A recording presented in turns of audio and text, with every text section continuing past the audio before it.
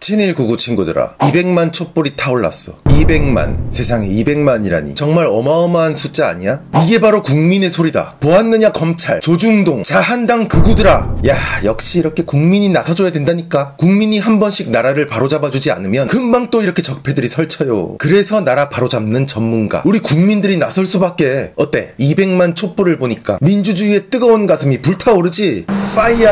어? 200만이 아니라 150만이라고? 네 이놈들. 니들이 아무리 그딴 소리를 해도 진실은 침몰하지 않아. 뭐? 150만도 아니고 10만? 5만? 3만이라고? 얼씨구 얼마나 국민이 두려우면 자꾸 이렇게 숫자를 깎아내릴까? 잘 봐봐 이게 방탄소년단 월드 투어 때 6만 명이 모인 장면이야 어때? 한눈에 봐도 어제 모인 국민들이 훨씬 더 많아 보이지 않아? 이건 싸이 콘서트 8만, 10만? 그리고 이건 교황 방한 때 14만 명이 모인 장면이야. 한눈에 봐도 어제 모인 국민들이 훨씬 더 많아 보이지? 그리고 자, 이게 히틀러가 모은 몇십만인데 이것도 한눈에 봐도 어제 모인 국민들이 훨씬 더 많아 보여. 만약에 그렇게 보이지 않는다면 네 눈에 문제가 있는 거야. 정의로운 민주주의 감성을 충전하고 나면 이게 100만, 200만, 아니 350만으로 보일 거야. 그리고 뭐? 어제 인파 사진이 원래 그 자리에서 하던 서초구 서리풀 축제랑 합쳐진 거라고? 원래 서리풀 축제라는 게 이렇게 수십만씩 인파가 나오는 축제였다고? 그래서 그게 뭐? 쫄지마 쫄지마. 이 사람들도 서리풀 뜯으면서 검찰 개혁도 하고 조국 수호도 하는 사람들이야. 다 우리 편이야 다. 무엇이 두렵길래 자꾸 위대한 민주주의 촛불을 폄하하는 거지? 아무튼 이번 기회에 검찰을 개혁하고 조국을 지켜야 해. 이것은 국민의 명령이니까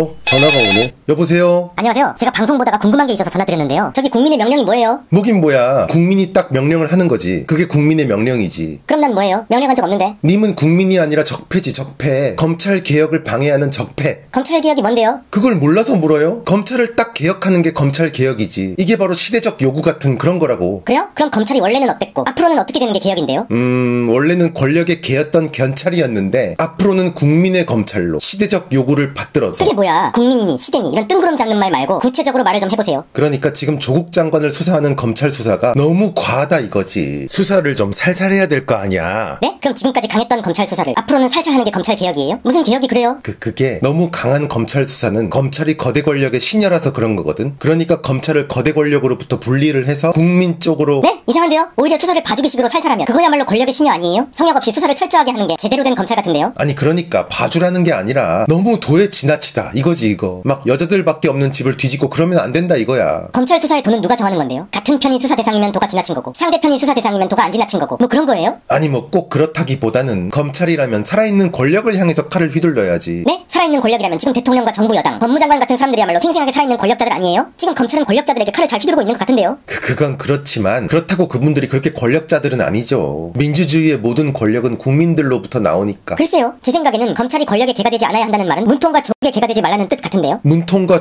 조국은 권력자가 아니라 국민의 편이라고 그 사람들을 수사하는 건 국민을 탄압하는 거나 마찬가지야 그럼 지금 권력은 누군데요? 그거야 자한당이랑 조중동 이런 사람들이지 검찰은 그 사람들의 개 역할을 하고 있는 거고 네? 조금 전엔 국민이 권력이라고 하지 않았어요? 그래놓고 또 금방 자한당이랑 조중동이 권력이래? 그 그러니까 원래는 국민이 권력인데 자한당이랑 조중동이 자꾸 국민들 위해 군림을 해서 아니 무슨 말도 안 되는 소리를 그렇게 자꾸 하세요. 야당보다는 당연히 집권 여당이 권력이지. 그리고 대통령이랑 법무장관이야말로 살아있는 권력 아니에요? 님은 권력이 뭔지도 몰라요? 아니야 지금 대통령이랑 법무장관은 권력이기는 한데 그 사람들은 국민의 편이니까 권력이 아니라고 봐야지 검찰총장도 지금 자한당 편인 거고 그 검찰총장은 누가 임명했는데요? 임명이야 대통령이 했지 음 근데 대통령께서 그런 사람인 줄 몰랐던 거지 본인이 임명해놓고 그런 걸 왜 몰라요? 그리고 몰랐으면 그만큼 무능한 거 아니에요? 아니 뭐 그렇다고 무능이라고 할 것까지야 게다가 본인이 성역 없이 수사하라고 해놓고 지금 성역 없이 수사하는 걸 이제는 또 그러지 말라고 압박하는 게 어딨어요? 본인 말 그대로 하는 건데 왜 이제 와서 난리예요? 와 진짜 못하겠다. 난 진짜 저쪽은 못하겠어. 좀 해보니까 도저히 안 돼. 도저히 못하겠네. 아니 이걸 어떻게들 그렇게 하는 거야? 다들 대단해. 능력자들이네. 아주 인정해 진짜. 사인 받고 싶네. 여러분 내가 진짜 저쪽 사람들 빙의해서 한번 제대로 해보려고 했는데 난 못하겠어요. 저쪽을 하려면 범죄 혐의자를 철저하게 수사하면 검찰개혁 방해꾼이고 범죄 혐의자를 수수방관하면 그게 검찰개혁이라고 믿어야 되는데 아니 사람의 탈을 쓰고 이게 어떻게 가능해? 나는 죽어도 못해. 난 진짜 저쪽 사람들을 이해하고 싶은 사람 인데 근데 도저히 못하겠다고. 주말에 수십만 모이는 지역축제 인파 앞에서 정치 집회를 벌인 후에 그거 드론으로 길게 쭉 찍어가지고 이렇게 사람들이 많이 나왔다고 선동하고 언론에서 100만 200만 350만 막 되도 않는 숫자 빵빵 터트린 다음에 이런 식으로 국회의원이 나서서 사람 많이 모였으니까 당장 퇴진하라고 몰고 가는 이런 반법치 국가 집단주의 인민재판식 사고 회로를 도저히 못하겠네. 나는 현대 국가라면 사람이 100만이 아니라 100조 억만 명이 모여도 법치는 1도 흔들리지 않아야 한다고 믿어 믿어. 광장의 정치적 목적으로 사람이 이렇게 많이 모이는 건 멋있는 게 아니라 위험한 일이라고 생각해.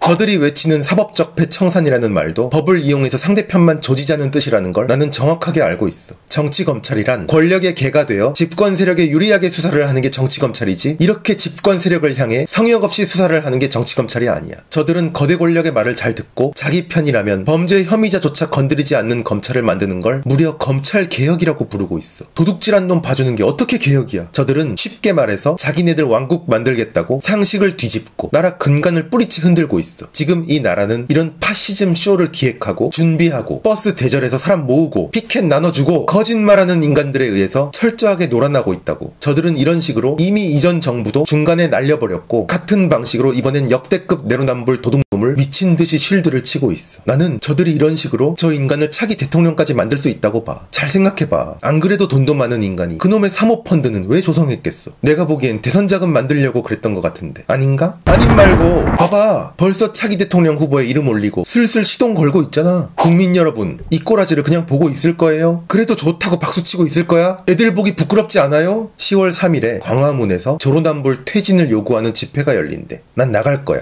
나갈 거라고. 쪽수라는 개념을 아주 싫어하지만 이 시점에서 어쨌든 진실이 쪽수조차 밀리지 않는다는 걸 보여줄 필요가 있다고 생각해. 지금은 내가 싫어하는 것도 할 수 있는 건 해야지 어떻게. 난 지금 대한민국은 총만 안 들었지 사실상 내전 상태라고 봐. 내가 싫어하는 광장 집회라도 나갈 수밖에 없네. 여러분 10월 3일에 광화문에서 봐요. 필요하다면 단상이라도 올라간다 내가. 대한민국의 불의를 참지 못하고 상식이 있는 국민들이라면 다 나오시길. 광장에서 봅시다. 이대로 망할 수는 없잖아.